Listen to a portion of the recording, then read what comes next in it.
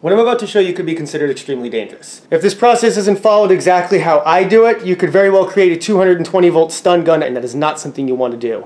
As I said before, you should not do this, you should not attempt this, this is for entertainment purposes only, but I'm going to show you a process in which you can backfeed power into your panel and power your entire house with one extension cord. So here's my electrical panel, very standard. Down here I've added a breaker, which is a 220, but it's basically set up as a generator input or a 220 volt air compressor output. This is an 80 amp breaker, which is pretty important if you're running multiple appliances, so you gotta make sure you got to get a very hefty breaker in that thing. Now at the other end of that circuit is this plug right here. This is a standard 220 volt outlet. I think they use these for dryers, uh, electric dryers that run on 220 volts. But it's a very heavy gauge uh, outdoor 220 volt wire. Um, you probably already have one in your house right now. If you have an electric dryer, there's probably one behind there that runs on its own circuit, just like this one. Chances are the breaker isn't that big though, and the wiring may not take the amperage it's going to be drawn through to power the entire house. This right here is the reason I consider this procedure to be so dangerous. On one side,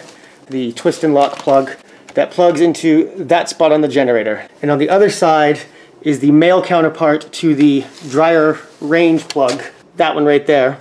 So what we're going to do right now is something a little fun. We're going to simulate a power outage at my house. And the way we're going to do that is I'm actually going to throw the main breaker at the very top of the power box. And that's also a very important step if you actually lose power. You need to disconnect your main breaker from the power pole outside. In no way do you want to be backfeeding power into this panel into your main breaker, through your power lines, up into your transformer on your telephone pole. That can create very dangerous situations for linemen working to restore power and actually could probably cause damage to the transformer. So what I've done is my kids are upstairs currently using electricity. I think my son's playing a football game and I'm going to cut the power and we're basically going to get the house back up and running on generator power. So here goes in three, two, one. Let's go see how they're adapting. Lost power. What's that? Lost power. I think. Did we really? Yeah, look. Yeah. Twelve- Everything just turned off. All right, I'll get the generator up and running. All right? Hi. Hi, Madison. Hi, Alex. Okay, so you've lost power. You want to get power up, back up and running. You want to do it quickly, but you want to do it safely. So, shut your main breaker off. Rule number one. Number two, shut off every other breaker in your box. Everything. Everything must be off. So now it's time to get the generator outside and running.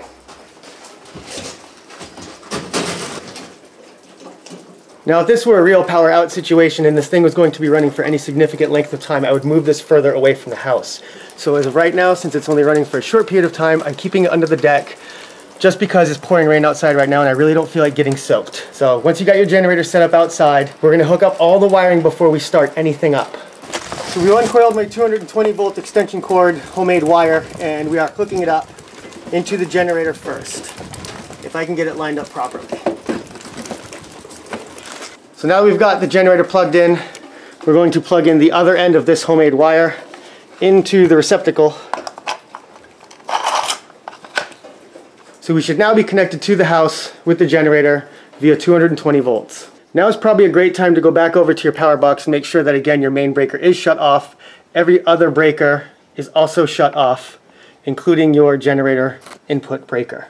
So now we've actually got to start up the generator. And as soon as this particular generator starts, it begins generating power. So one thing to note that if that plug that I showed you isn't actually plugged into this receptacle, that becomes charged with 220 volts of electricity. That is why you make all your connections before starting anything. Better safe than sorry. So let's get this generator running and let's get the power turned on. All right, here we go.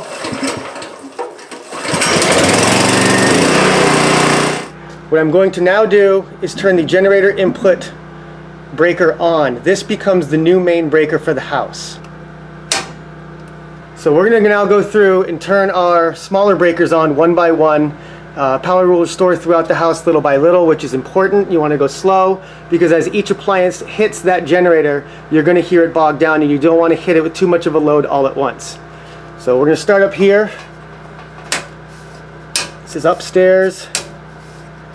This is my electric stove. I probably don't need that on right now because I'm not cooking anything. My dryer, I probably don't need that on right now. My well pump, uh, let's go ahead and flip that on. That one only runs intermittently, so you'll hear that one hit every once in a while. If you've got a smaller generator like my old one, you couldn't run all these circuits and the well pump simultaneously because when the well pump would kick on, the generator would shut off. It's too much of a load. So let's continue with upstairs bedrooms. Nope. We just got power back down in the basement. Furnace, I'm gonna leave that one off right now um, just because it's warm out, but we could run that if we needed to. Um, the pump alarms for my septic pump. And that's it. I'm not gonna worry about turning on the tanning bed because nobody's tanning. It's a fun concept to think about that you could still go tanning in the winter when the power's out. so let's go back upstairs and check in with the kids and see how things are going now. Power got back on. What's that? Power got back on. Power's back on? Yeah. We're on the generator, so the internet should be back up and running shortly. I've got a small confession to make to you guys. Yeah. I shut the power off. You did? Really? Yeah. I wanted to make a video about hooking the generator up to the house, so I needed to simulate a power outage. Really? Did you guys think we actually lost power? yeah. So you kind of pranked us. I did kind of prank you. Sorry about that. And by the way, this camera here that I told you not to worry about, it was a camera recording your reaction when the power went out. Are you kidding? I asked what that was. I know, and I didn't tell you because I didn't want you to know.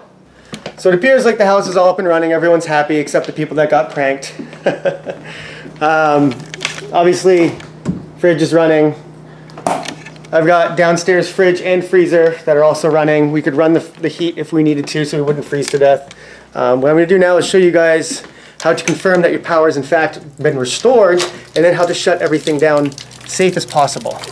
We're gonna go outside in the rain with my expensive electronic recording device, and you're gonna come over to where your power comes in off your pole, basically known as your meter, your meter box. Uh, specifically, you wanna look at the numbers. If you guys have the new style uh, meters, which I think everyone does at this point, you'll see that the numbers are actually scrolling through, telling you all the information. So that tells me that the power has been restored. So we're gonna go ahead and shut the generator down and put everything away. So the first thing we're gonna do is go through and shut off all individual circuits one by one. Uh, let me get my flashlight back out here. Shut them all down. Take the load right off the generator. And then the main breaker for the generator, shut that down. So now the fuse box is no longer live. Um, we're not going to turn main power back on yet. First, we're going to disconnect the generator because if the wrong switch gets thrown, then you could again create a very dangerous situation with that power cord. So now we're going to go out here and shut off the generator. So I'm going to go ahead and shut the fuel off, and once the generator dies, we'll get started unhooking everything.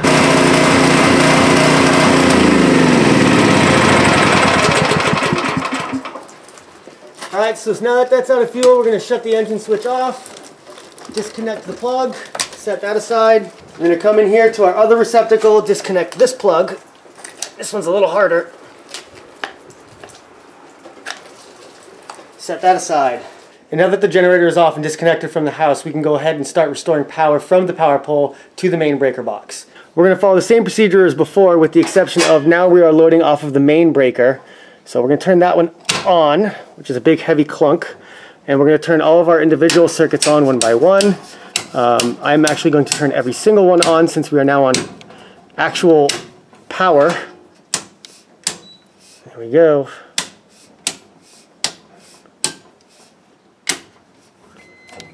There, you can hear everything kind of come back to life. Generator's off, everything's unhooked. Now I'm actually going to let the generator cool off a little bit outside before bringing it back in. Upon bringing it back in, I'll probably dry it off so it doesn't rust. I'll put away all my electrical wires, clean everything up so it's not a hazard to anybody. Again, I don't recommend you do any of this. This is all hypothetical. These are things you could potentially do, but it seems to work to power my entire house. The way to make this a lot safer would be to buy an automatic switching station and you hook your generator up to that and it automatically flips power between the fuse box and the generator so you can't accidentally backfeed the power lines. Those switches are very expensive, so I do not have one. I would love to get one eventually, but I'm not made of money. So thank you for watching my video today, you guys. Give me a like if you guys found this entertaining or helpful in any way. I appreciate it. Also, I'm probably going to be selling this smaller generator soon. Uh, I'm not sure what I should ask for it, so if you comment below what would be a good price to ask for this thing, it's probably got four or 500 hours on it, uh, meticulously maintained, oil changed every 100 hours. It's obviously very clean, runs very well. It's always been stored inside. I paid about $350 for this thing brand new. I was thinking about asking for 300 and seeing what people say because this thing's still got a lot of life left in it. Fresh oil change, fresh spark plug, new air filter, fresh gas. It is ready to go, ready to power a house. Powers this house, believe it or not, for the most part. So let me know what you think. Comment below. How much should I ask for this? I'm not going to gouge people by asking an obscene amount of money when everyone's out of power. I'm going to try to do the right thing and get it to somebody that really needs it for a fair price. That's it. That's the video. Thank you for watching, and I hope you enjoyed.